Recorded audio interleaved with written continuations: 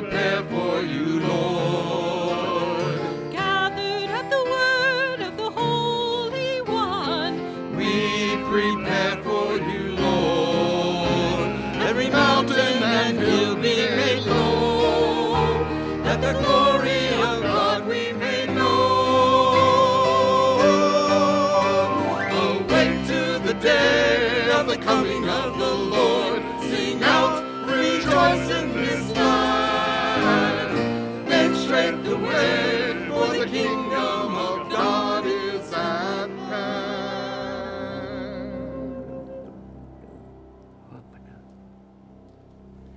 In the name of the Father, and of the Son, and of the Holy Spirit.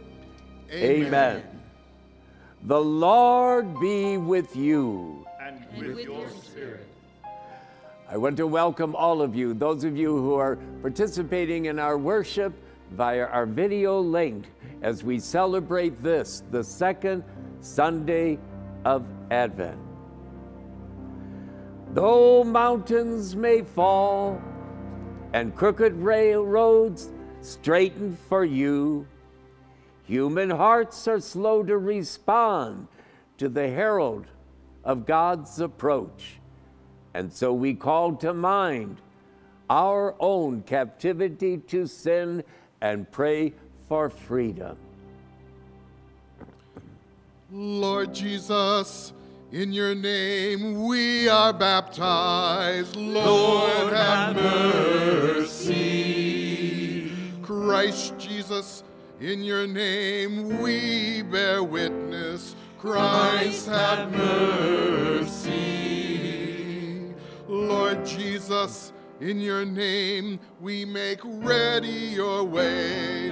Lord, have mercy. May Almighty God have mercy on us, forgive us our sins, and bring us to everlasting life. Amen. Let us pray. With tender comfort and transforming power, you come into our midst, O God of mercy and might. Make ready a way in the wilderness, clear a straight path in our hearts, and form us into a repentant people, that the advent of your Son may find us watchful and eager for the glory Christ reveals. We ask this through the one whose coming is certain, whose day draws near, your Son, our Lord Jesus Christ, who lives and reigns with you in the unity of the Holy Spirit, God forever and ever. Awake to the day of the coming of the Lord. Sing out, rejoice in this land. Make straight the way, for the kingdom of God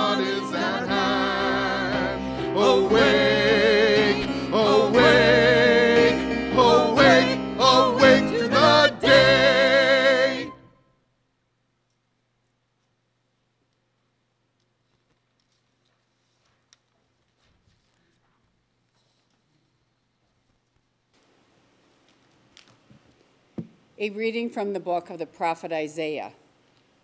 Comfort, give comfort to my people, says your God.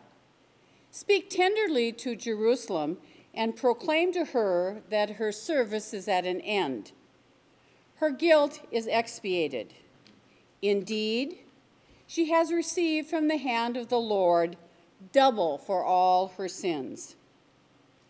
A voice cries out, in the desert, prepare the way of the Lord. Make straight in the wasteland a highway for our God. Every valley shall be filled in, every mountain and hill shall be made low. The rugged land shall be made a plain, the rough country a broad valley. Then the glory of God shall be revealed, and all people shall see it together for the mouth of the Lord has spoken. Go up unto a high mountain, Zion, herald of good tidings. Cry out at the top of your voice, Jerusalem, herald of good news. Fear not to cry out and say to the cities of Judah, Here is your God. Here comes with power the Lord God, who rules by his strong arm. Here is his reward with him, his recompense before him. Like a shepherd, he feeds his flock. In his arms, he gathers the lambs, carrying them in his bosom, and leading the ewes with care. The word of the Lord.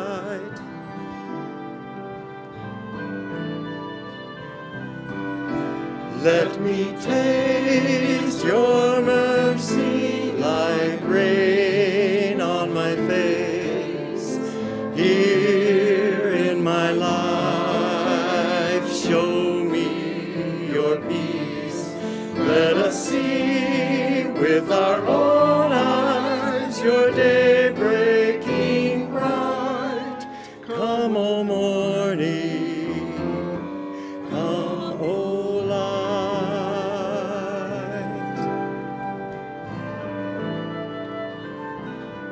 What God has spoken, I will declare. Peace to the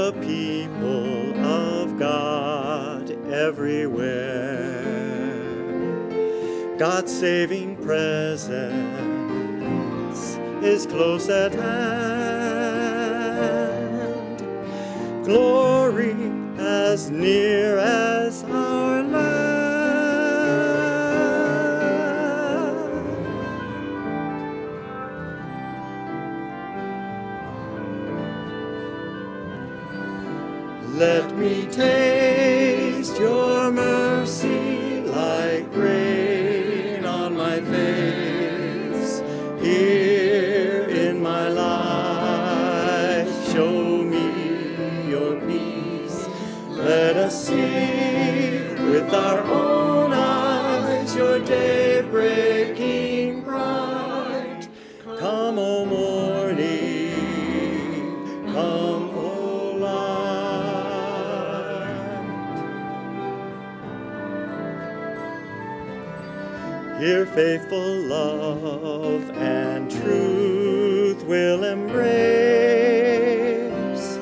Here peace and justice will come face to face. God's truth shall water the earth like a spring, while justice will bend down and sing.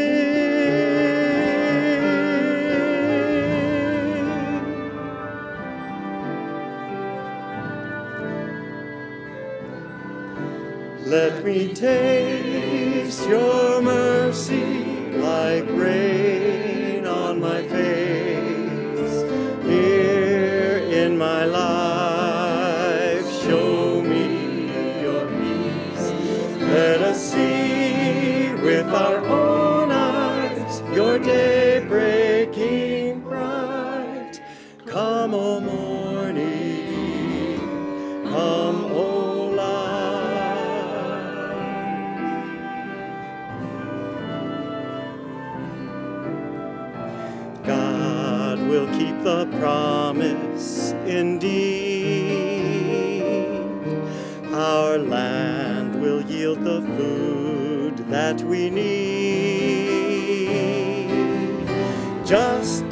shall walk before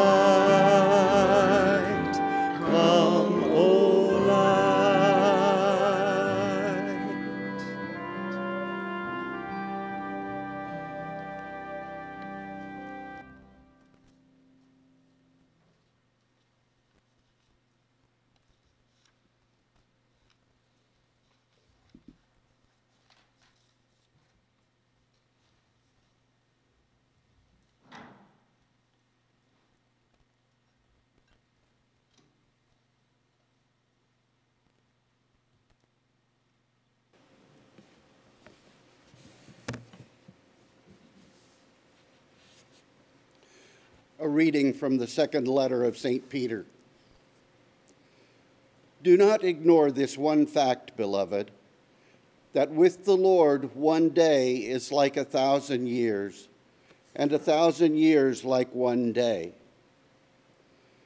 The Lord does not delay his promise, as some regard delay, but he is patient with you, not wishing that any should perish, but that all should come to repentance. But the day of the Lord will come like a thief, and then the heavens will pass away with a mighty roar, and the elements will be dissolved by fire, and the earth and everything done on it will be found out.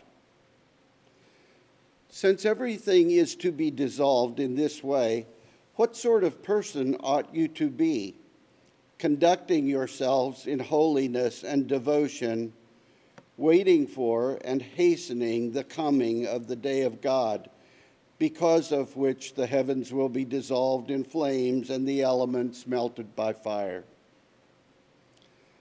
But according to his promise, we await new heavens and a new earth in which righteousness dwells. Therefore, beloved, since you await these things, be eager to be found without spot or blemish before him at peace. The word of the Lord.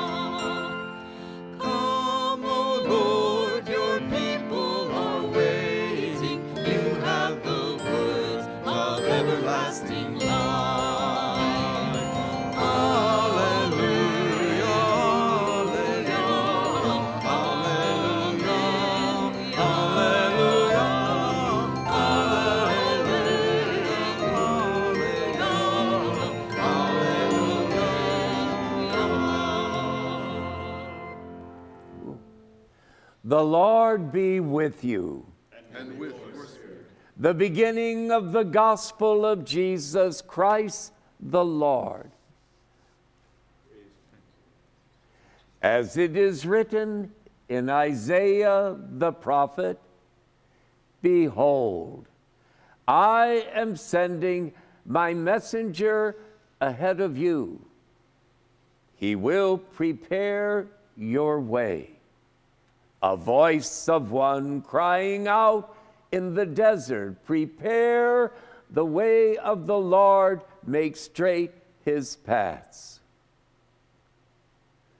John the Baptist appeared in the desert, proclaiming a baptism of repentance for the forgiveness of sins.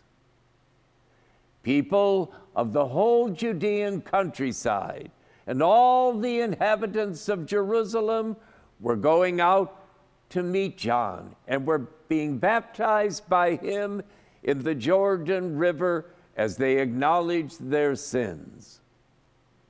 John was clothed in camel's hair with a leather belt around his waist. He fed on locusts and wild honey. And this is what John proclaimed One mightier than I is coming after me. I am not worthy to stoop and loosen the thongs of his sandals. I have baptized you with water. He will baptize you with the Holy Spirit. The gospel of the Lord. Praise you, Lord Jesus Christ.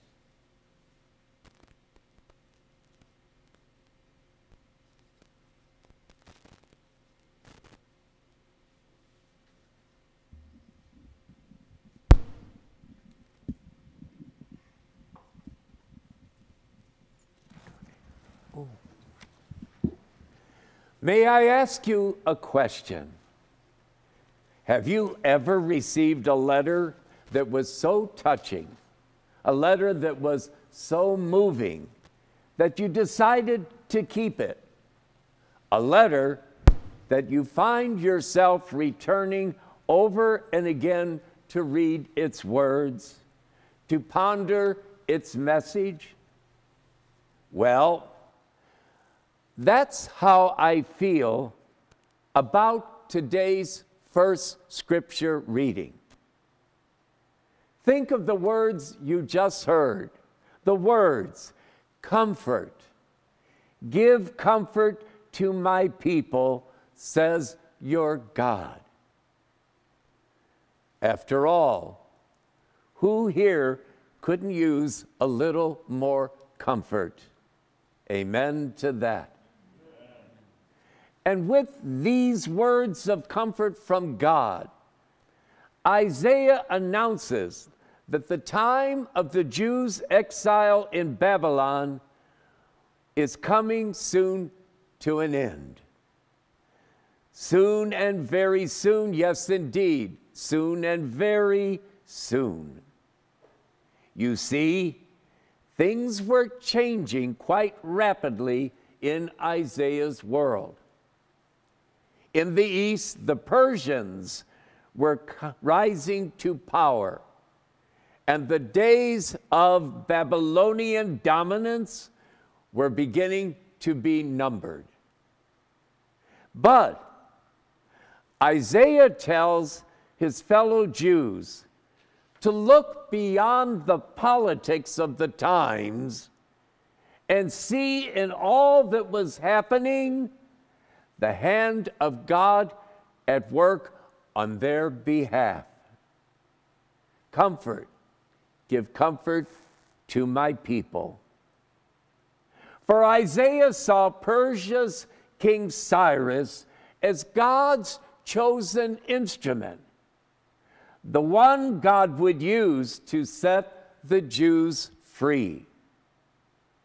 Indeed, Isaiah went so far as to depict God calling the pagan ruler Cyrus my shepherd who fulfills my every wish, and my anointed, whose right hand I grasp.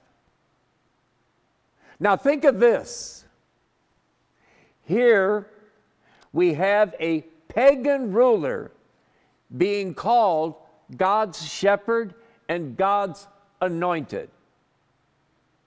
That's a big wow. That's a capital W, capital O, capital W, wow. Don't you think?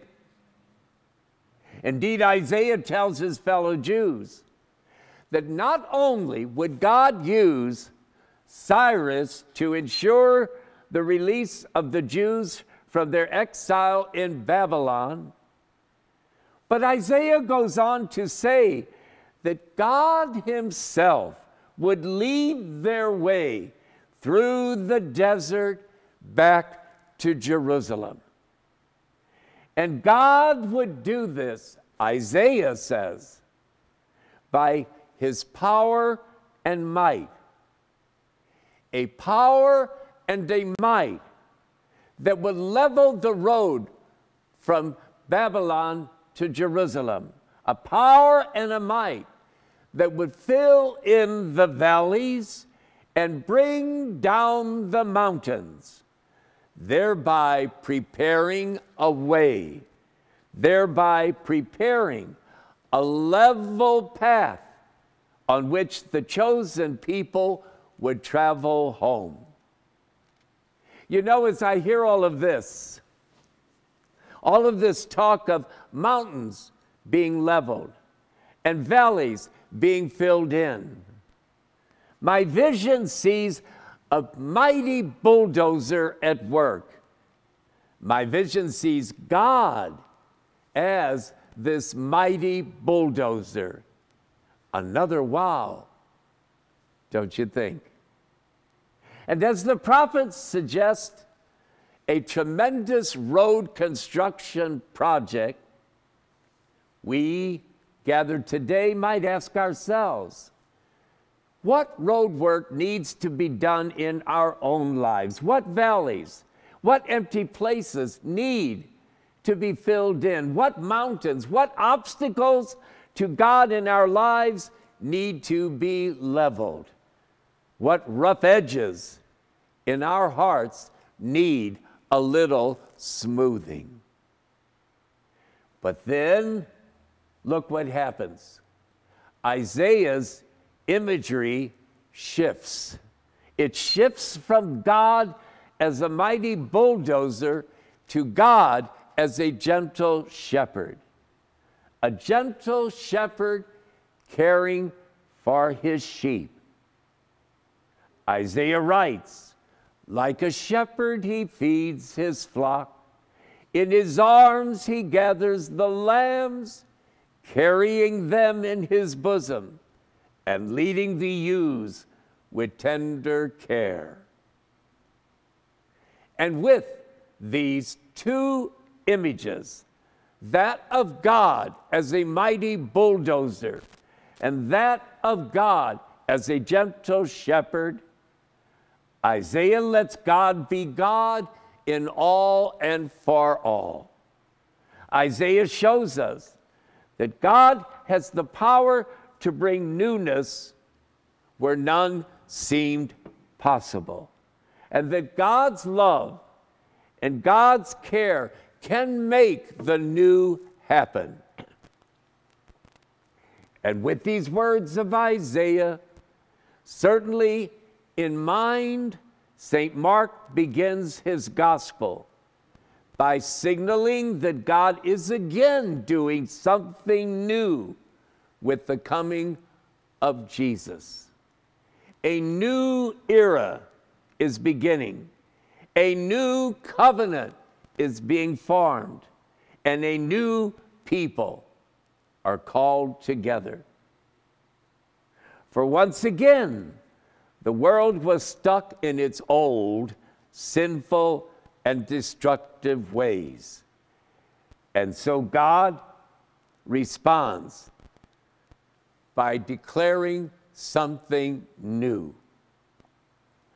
But here's the difference between what God did in Isaiah's time and what God was doing in St. Mark's time. For those who accept Jesus will be given the power of the Spirit to break through all the dead ends of life.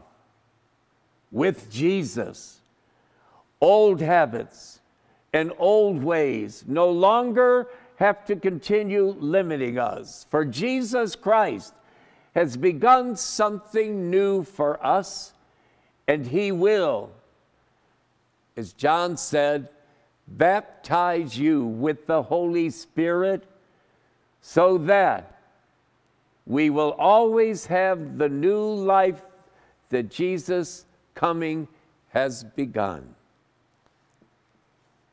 And so, St. Mark begins his gospel by announcing what? By announcing a new prophet named John, a holy man sent by God to prepare the way in the desert for the coming Messiah, to once again level the mountains and fill in the valleys.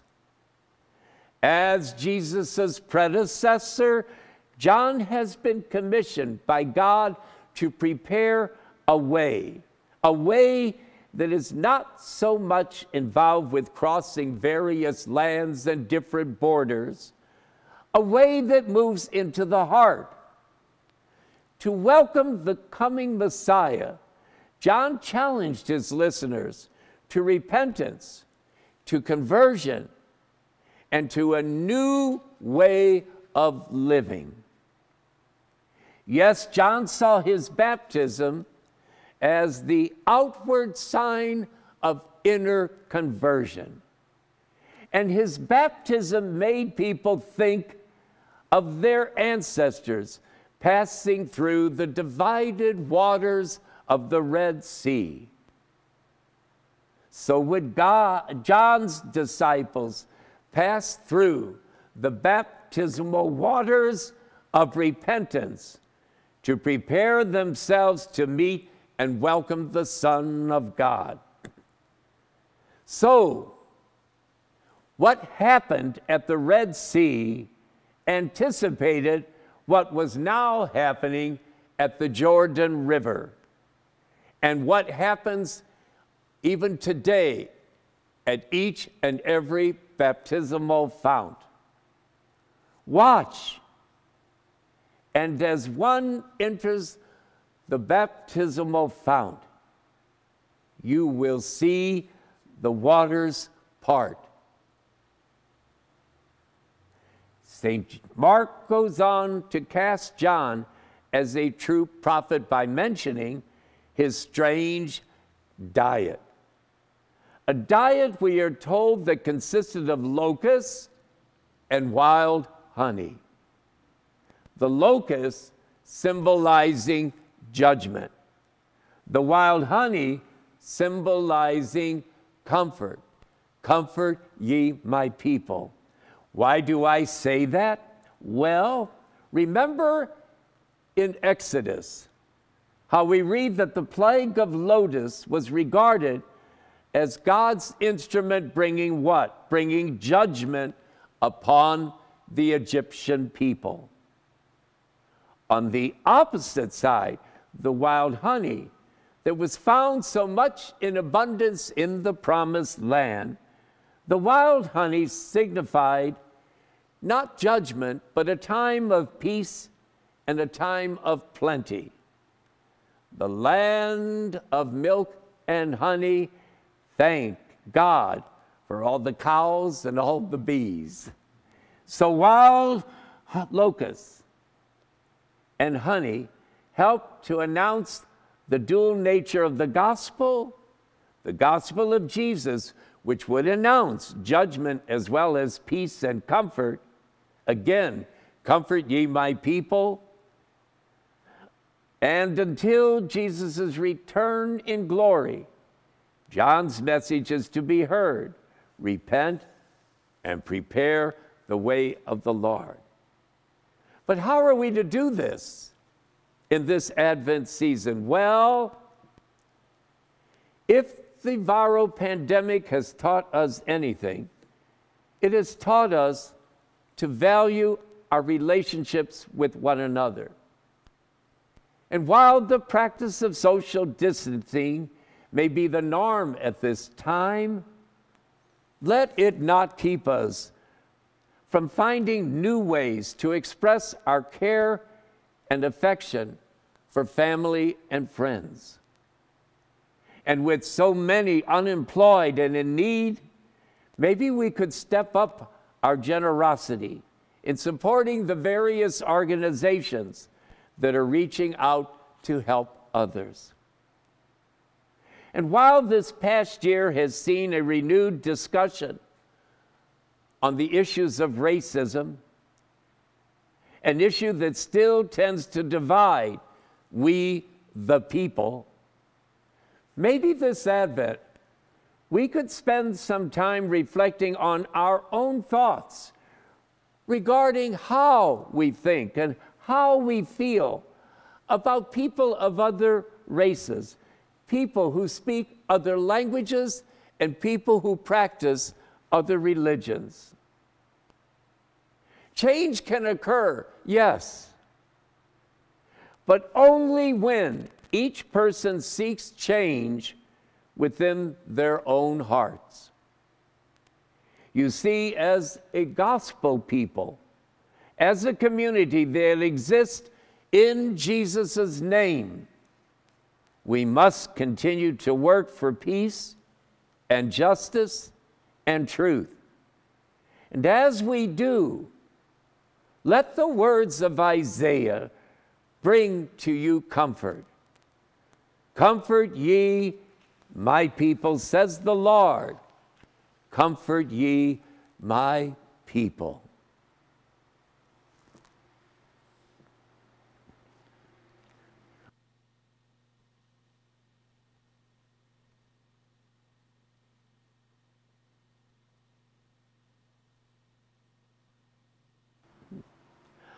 I believe in God the Father Almighty, creator of heaven and earth, and in Jesus Christ, his only Son, our Lord, who was conceived by the Holy Spirit, born of the Virgin Mary, suffered under Pontius Pilate, was crucified, died, and was buried.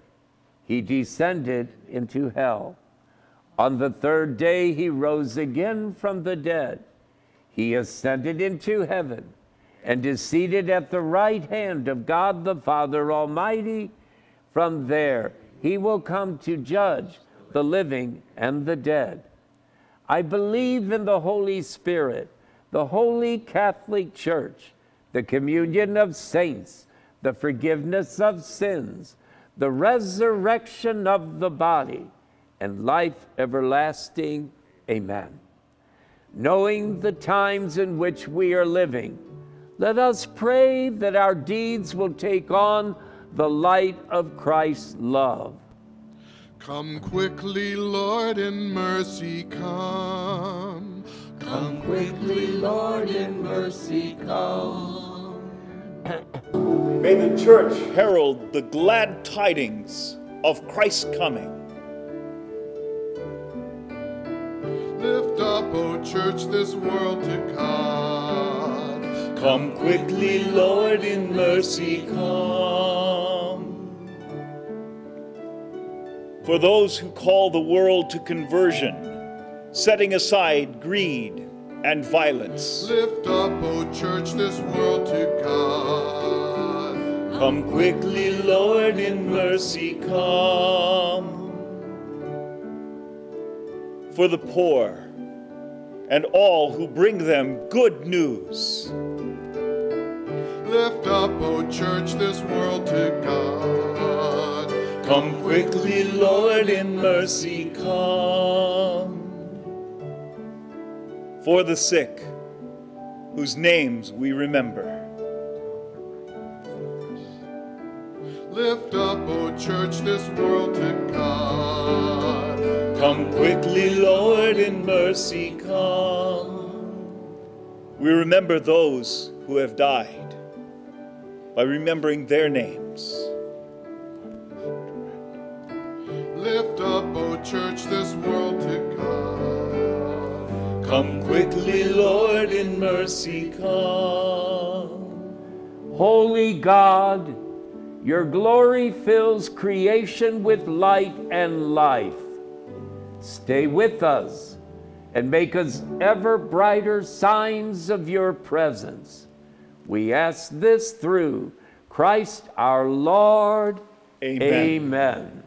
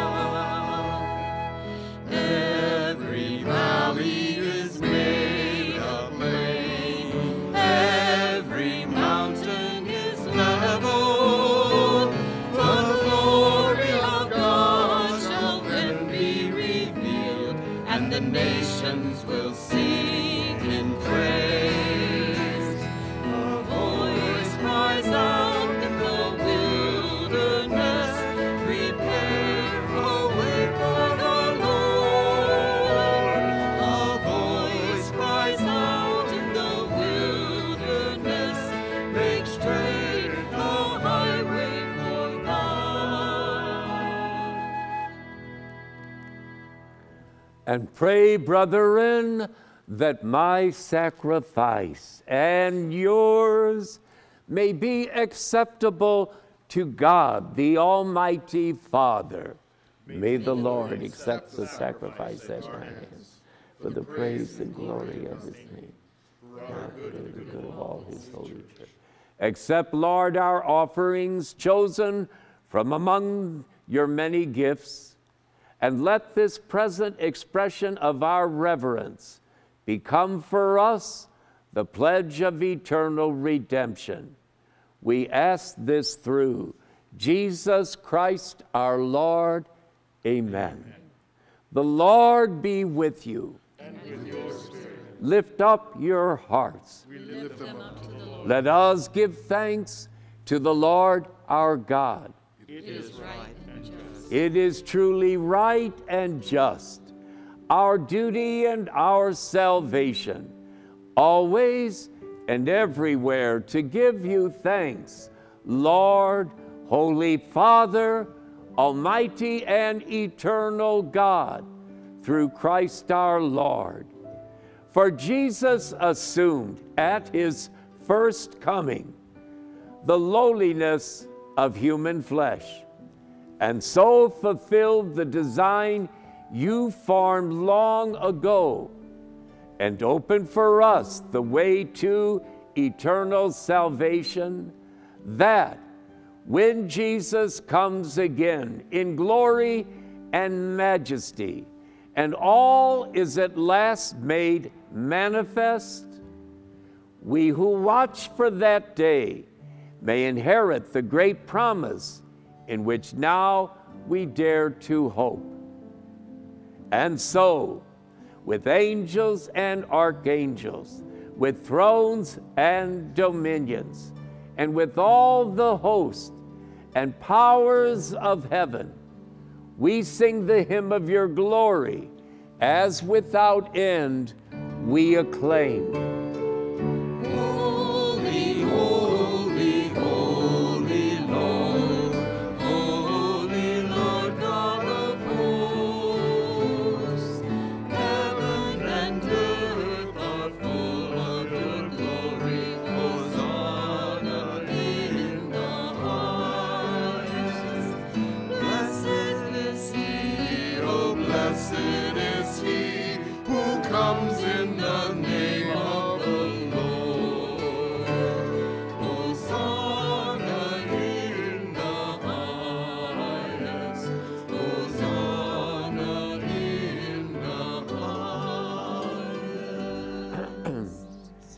Are indeed holy, and to be glorified, O God, who love the human race and who always walk with us on the journey of life.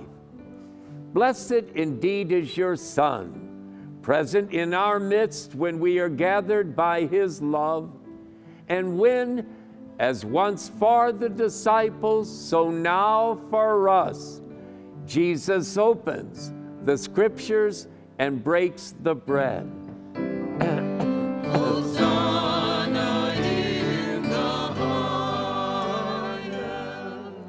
Therefore, Father most merciful, we ask that you send forth your Holy Spirit to sanctify these gifts of bread and wine, that they may become the body and blood of your Son, our Lord Jesus Christ. On the day before he was to suffer, on the night of the Last Supper, Jesus took bread and said the blessing. He broke the bread, gave it to his disciples, saying, Take this, all of you, and eat of it. For this is my body, which will be given up for you.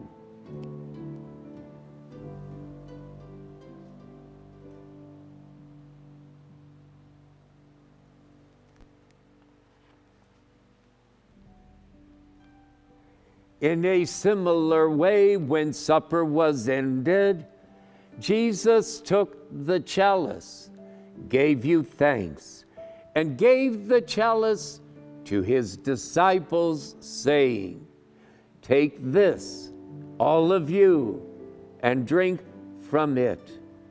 For this is the chalice of my blood, the blood of the new and eternal covenant, which will be poured out for you and for many for the forgiveness of sins. Do this in memory of me.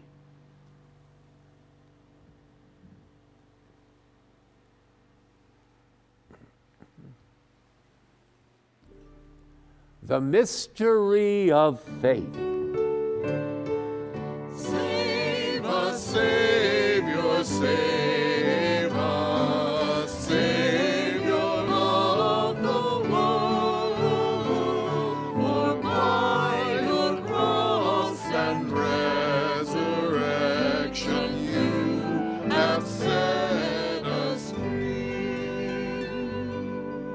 Therefore, Holy Father, as we celebrate the memorial of Christ, your Son, our Savior, whom you led through his passion and death on the cross to the glory of the resurrection, and whom you have seated at your right hand, we proclaim the work of your love until he comes again.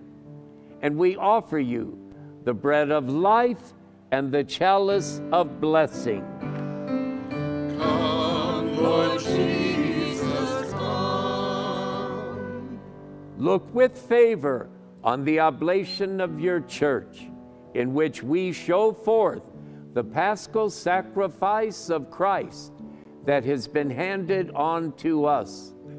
And grant that by the power of the Spirit of your love, we may be counted now and until the day of eternity among the members of your Son, in whose body and blood we have communion. Come, Lord Jesus, come. Lord, renew your church in Mesa by the light of the gospel. Strengthen the bond of unity between the faithful and the pastors of your people. together with Francis, our Pope, with Thomas and Eduardo, our bishops, and the whole order of bishops, that in a world torn by strife, your people may shine forth as a prophetic sign of unity and concord.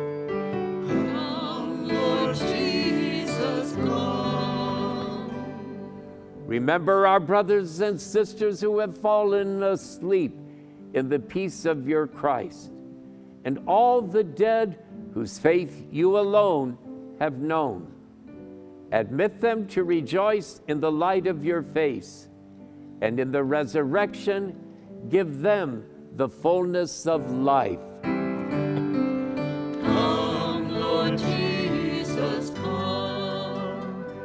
Grant also to us, when our earthly pilgrimage is done, that we may come to an eternal dwelling place and live with you forever.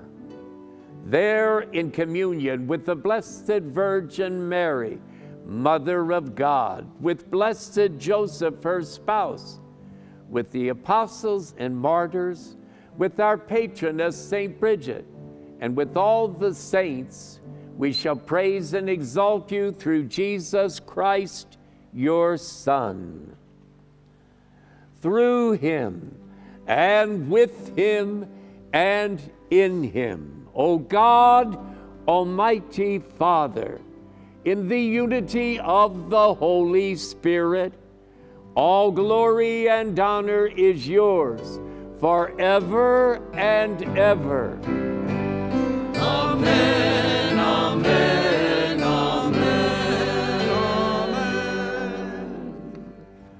At the Savior's command and formed by divine teaching, we dare to say, Our Father, who art in heaven, hallowed be thy name. Thy kingdom come, thy will be done on earth as it is in heaven. Give us this day our daily bread, and forgive us our trespasses, as we forgive those who trespass against us. And lead us not into temptation, but deliver us from evil. Deliver us, Lord, we pray, from every evil. Graciously grant peace in our days, that by the help of your mercy we may be always free from sin and safe from all distress, as we await the blessed hope and the coming of our Savior, Jesus Christ. For the kingdom, the power, and the glory are yours now and forever. Lord Jesus Christ, who said to your apostles, Peace I leave you, my peace I give you, look not on our sins, but on the faith of your church, and graciously grant her peace and unity in accordance with your will, who live and reign forever and ever. Amen. The peace of the Lord be with you always. And let us turn and offer some sign of Christ's peace to one another.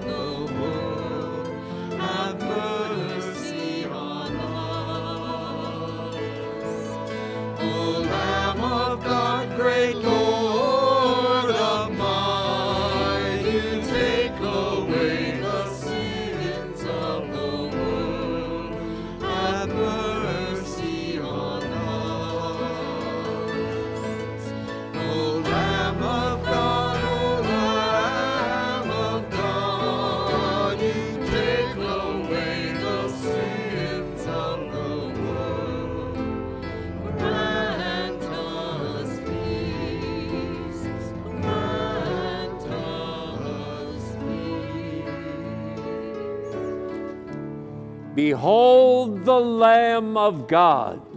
Behold him who takes away the sins of the world. Blessed are those called to the supper of the Lamb. Lord, I am not worthy that you should enter under my roof, but only say the word, and my soul shall be healed.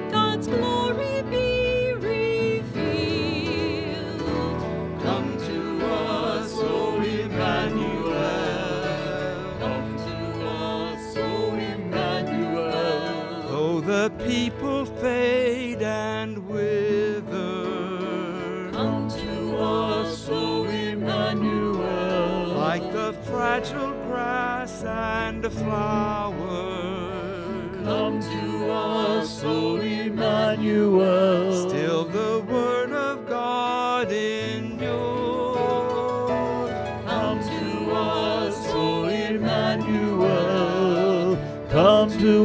Us, Emmanuel.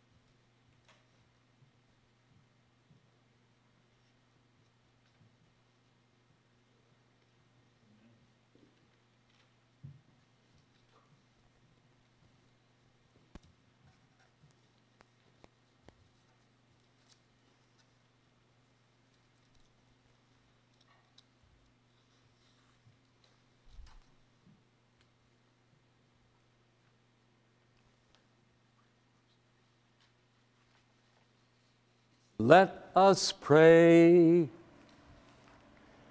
Lord our God, grant that in our journey through this passing world, we may learn from these mysteries to cherish even now the things of heaven and to cling to the treasures that never pass away. We ask this in the name of Jesus the Lord. Amen. The Lord be with you. May Almighty God bless you, the Father and the Son and the Holy Spirit. Amen. Go forth, the Mass is ended. Thanks, be to God. A voice cries out in the wilderness,